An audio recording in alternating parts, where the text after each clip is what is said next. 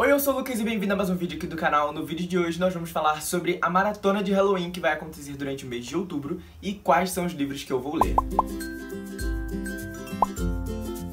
Essa maratona está sendo organizada pela Mel e tem muita gente participando e muita gente legal. Aqui na descrição vai ter o link para todo mundo que tá participando, então não esqueça de ir lá conferir. Também para você saber o que, que, cada uma dessas pessoas vai ler. A Mel, ela tem um vídeo explicando tintim por tintim dessa maratona, porque realmente tem muita coisa. Mas já adiantando do que temos por vir, vamos ter muitas lives ao longo desse mês, vamos ter sorteios e principalmente desafios. Olha, os desafios estão maravilhosos. Se você ainda não me segue no Instagram, por favor, faça isso, vai estar aqui aparecendo.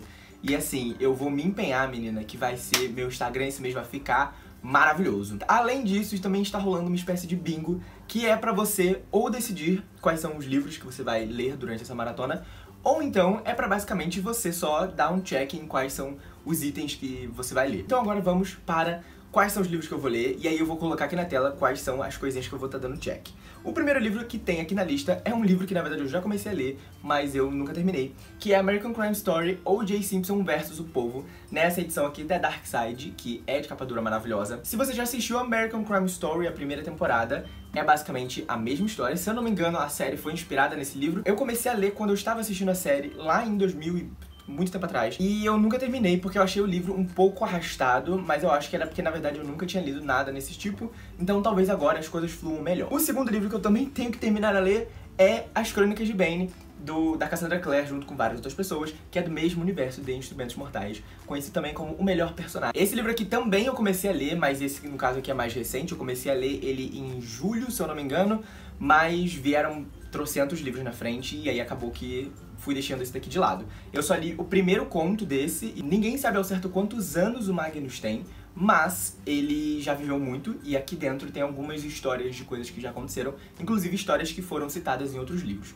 E eu quero muito chegar no finalzinho pra finalmente ver o Magnus e o Alec junto, porque eles são maravilhosos. Outro livro que eu também tenho que tomar vergonha na cara pra ler é Quando a Luz Apaga, o segundo livro do Gustavo Ávila, que também fala sobre pessoas fazendo crimes e barbaridades e coisas do tipo. O primeiro livro dele é O Sorriso da Hiena, que eu amei ter lido. Inclusive, aqui no canal tem uma entrevista com o Gustavo. Essa história daqui a gente volta a conhecer o detetive Arthur, e eu tô muito curioso. Eu confesso que eu não li muita coisa ainda sobre essa história, para justamente eu ser pego de surpresa, e eu sei que eu vou gostar. Eu espero, no caso. O quarto livro da lista é O Despertar da Octavia Butler, que é o primeiro livro da duologia. Também tá aqui na minha estante há um certo tempo e eu quero né, ler. Esse daqui, se eu não me engano, já envolve umas coisas meio futuristas, caos, então tem super essa vibe aí. Também tem outros dois livros que eu quero muito ler esse mês, que são em e-book. O primeiro deles é o Marcados, do Caio Rodrigues. É um livro que está disponível no Kindle Unlimited e eu vou ler, espero que, no caso, esse mês já tá na minha lista aí. E o outro livro que eu tô muito ansioso, que provavelmente vai ser tipo o primeiro livro que eu vou ler, é o Cemetery Boys. Esse livro está sendo muito hypado lá fora, no caso no Twitter também as pessoas estão surtando com esse livro. É basicamente a história sobre um menino que ele é feiticeiro e ele tem que fazer alguma coisa lá para ele virar o, feiticeiro da família e ele acaba ressuscitando uma pessoa no cemitério e aí ele se apaixona por esse fantasma e tem toda essa história aí de fantasmas se apaixonando. Eu confesso que eu não li muita coisa sobre essa história, principalmente porque eu quero ser pego de surpresa, então, as únicas coisas que eu sei é que envolve feiticeiros e bruxos e coisas do tipo, envolve pessoas ressuscitando outras pessoas, e no caso, a pessoa que vai ser ressuscitada pelo protagonista, que ele é um, bruxo, vai se apaixonar por eles dois, então vai ter aquela coisa do romance entre a pessoa que tá viva e a pessoa que tá morta. E aí a melhor parte disso tudo é que temos representatividade. O protagonista dessa história é um menino trans e, se eu não me engano, também envolve representatividade aí latina, né, de pessoas fora ali dos Estados Unidos.